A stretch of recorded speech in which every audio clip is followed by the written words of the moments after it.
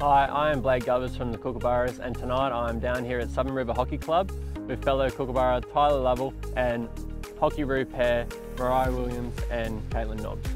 We're going to be showing you how simple a lighting audit can be by following four simple steps from Legacy Lighting, Hockey Australia's official lighting supplier. Inefficient lighting can have a negative impact on the quality of hockey being played, the quality of spectator viewing, and it can also be unsafe when the ball is travelling at speeds of up to 140 kilometres from close range. So we've got our lux meter from Legacy Lighting, really simple to use. Turn it on,